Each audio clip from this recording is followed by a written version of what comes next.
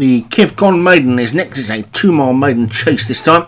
And James Devassi is at the top for Martin Cairns. Wisecrack Ardcan for Matt Cooper. Kambaya Brown Eyes for David Robertson. And Witch Power for Leon Van Rensburg. So the small field continue as we get on with the third race. 13 runners so far today over the first three races. They get into this ditch and over that one they go, all safely over it.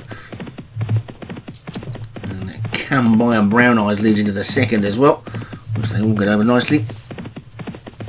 James Devassi showing second, Wisecrack Hardcar third, and Leon Van Rensburg's Witch Power is just the back marker as they take the third, which they all get over.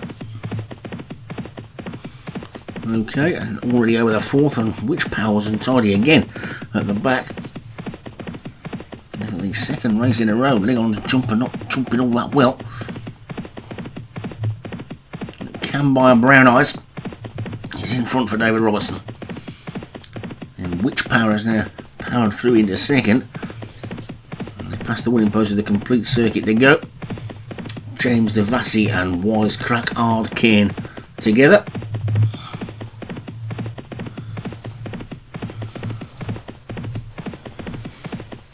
Maya Brown Eyes continues to lead.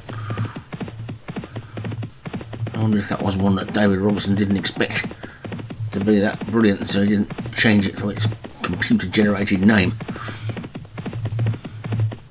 It's a bit of a strange one. And they come into the next. Kambaya Brown Eyes it um, is that leads. James Devassi second, Witch Power third. And Wisecrack again the back marker as they take this ditch. They all get over nicely. There, past the midway point now, into the final mile. And this is fence 7. And oh, he's gone this time. Witch Power's gone? He made a couple of mistakes early on, and Witch Power's gone. So the powerhouse stable of Leon Van Rensburg is out of this race, and that just shows you where the interest could be in the national hunt this season. Is these small fields will get some surprise winners, I think. And Kambaya Brown Eyes is in the lead and well clear at the moment from Wisecrack Hardcane and James Devassi, who are chasing. But Kambaya Brown Eyes. Jockey has a little look round, see how far in front he is. And David Robertson will be Thinking he might be on the way to victory here.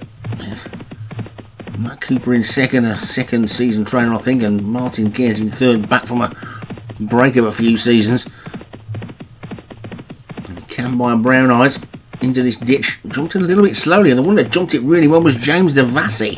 And that one is coming around the outside now to throw down a challenge as they get over the third last mistake by Wisecrack Hardkin. But it's Kambaya Brown Eyes and James Devassi who are having a battle as they race up towards the final couple of fences. Over the second last they go. and James Devassi probably jumped it just the better as they race down towards the final fence. Over it they go. Better jump on the inside this time by Kambaya Brown Eyes, but James Devassi is throwing down a big challenge on the outside. They're inside the final third along there is Kambaya Brown Eyes on the inside from James Devassi closest to us. He's going to be a head this one. James Devassi is just showing in the lead. James Devassi is going to take it, I think, as they race up towards the right to come back. Whatever Martin Cairns, James Devassi wins it. Kambaya Brown Eyes is second and Wise Hard Cairn was third.